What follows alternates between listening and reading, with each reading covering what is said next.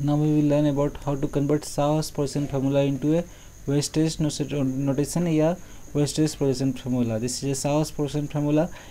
In this format we can also write the wedge dash Poisson formula but we generally we need to think about that that that, that the longest chains will come in order. Means 1 2 3 4 this is not in the proper format. If, if we, the proper format will be look like this. This is a proper format. 1 2 3 4 5 means this is not proper format. In this way we can easily can convert wedge dash from the source this is a Sawhorse Poisson formula. Wedge dash can easily be can, can be converted. This is the uh, actually this is necessary. This is step after the rotation. 120 degree 120 degree yeah 120 degree in this side. After rotation 120 degree this side 120 degree. This will come to this position then this will come to this position and CST will come to this positions. Here CST is in this positions and it will come in the downward directions and CST will in the upward directions. If you rotate 120 degree in this way this CC3 will come to this position, CL will come to this position, H will come to this position. Here this will come to this position, this will go to this position, this will go to this position. In this way after the rotation we are getting this uh, structure. This is the longest form. Now in this format if you will view from this side, if you view from this side then the H will be in the wedge positions and this H also will be in the wedge positions. This will be wedge position, this will be in the dash position.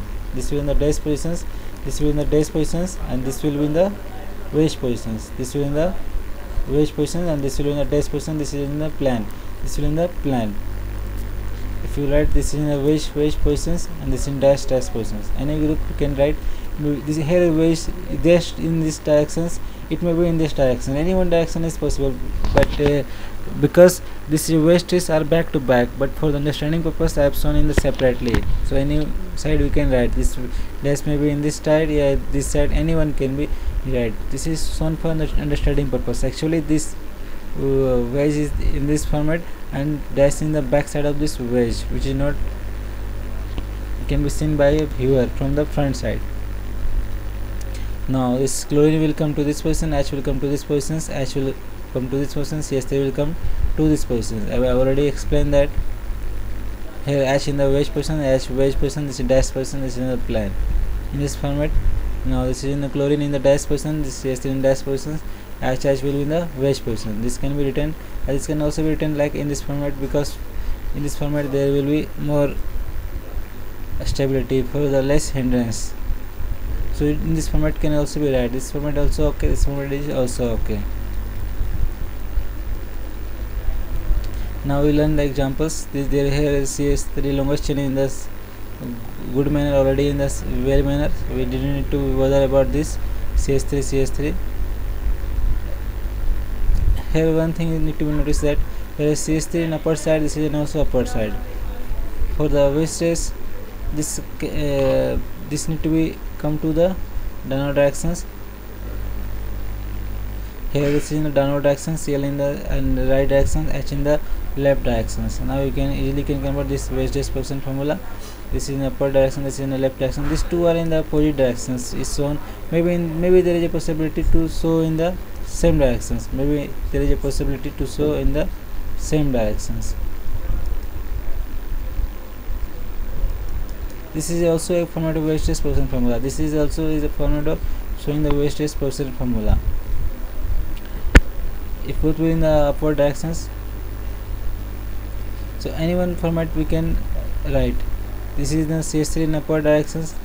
That's why here in this CH3 in the upward directions here CH3 in the downward directions so here CH3 in the downward directions if you want to write in this format then we we didn't need to be convert this. We need to convert only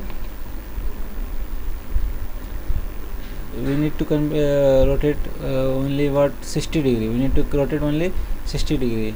This format CL and H will be there.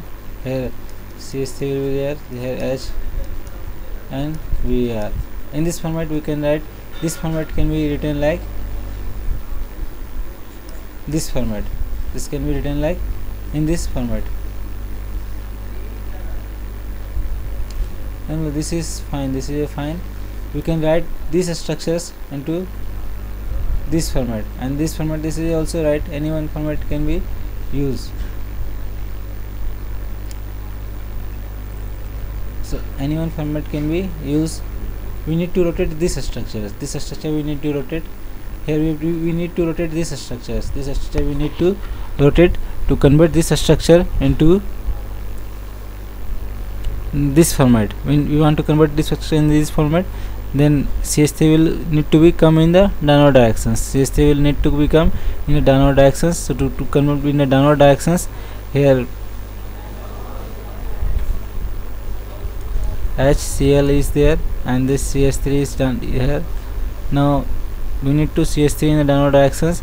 If you rotate this uh, in this if you come to this positions then uh, this bromine will go this position hydrogen will go this position so this structure this structure can be converted to a this format. If you will be from this side then this will be in the wedge and this will be in the dash and this will be in the wedge and this will be in the dash so we can write this uh, structures in this format. If you write in this format then H will be in the wedge positions. Here H will be in the wedge positions and bromine will be in the dash positions. Bromine in the dash positions. Here Cl in the wedge position H will be in the dash position.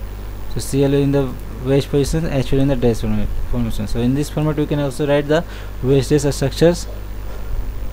Changing the Saas, Saas position formula into position formula